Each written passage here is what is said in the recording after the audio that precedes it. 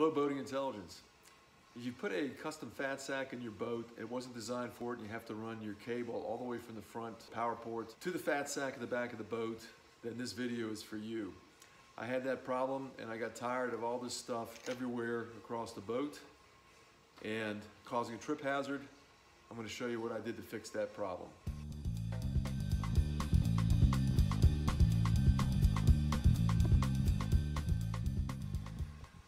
Here's a good winter project for you. I was running my power cord from my fat sack pump all the way from underneath the dash across the boat into the back here where the fat sack was located. I installed a power port here and it's on the engine box, penetrating through into the engine box where I have good access to large cables with good amperage and good voltage. You'll need to find a suitable location for your power port that gives you enough room behind your mounting location that you don't have any obstructions. I measured behind my drink cup holder and I had plenty of room, including the wires, not to have any problems with interference with the engine box itself. This cup holder is easily removed from inside the engine box.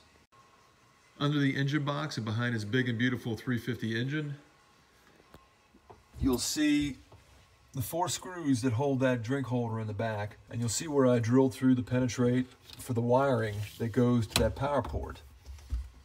I ran that wiring down to some voltage lugs and I made sure to use a properly sized fuse with heavy gauge wire that can handle the amperage of that pump.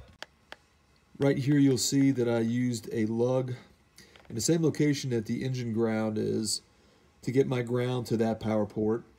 And I ran my wire with another lug to the starter solenoid where I get the permanent hot so that I always have power to that, uh, that power port.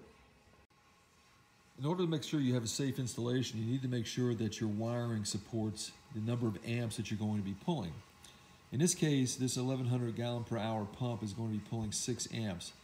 So you want to size slightly bigger than that just to make sure, and then have the appropriately sized fuse. My application of 6 amps means I should be using something like an 18 gauge wire where it will handle 7 amps as shown in this image. But I decided to run 10 gauge because I wanted to make sure I had enough uh, capability in that power port for anything that I wanted to run. Um, I'm actually limited by 12 gauge, which is associated with the fuse holder. Because I'm using 12 gauge fuse holder, I'm going to be limited to a 20 amp fuse. There's some special techniques for drilling through fiberglass, and a lot of people will actually tape the location you're going to drill and then run the drill backwards instead of running it forwards so you don't splinter the, uh, the fiberglass. After drilling the hole, you'll pull your wiring through the hole. I twisted as you can see here, and then I ran it down the engine box toward the engine and across the transmission using zip ties to make sure that it wasn't going to get caught in any of the rotating machinery.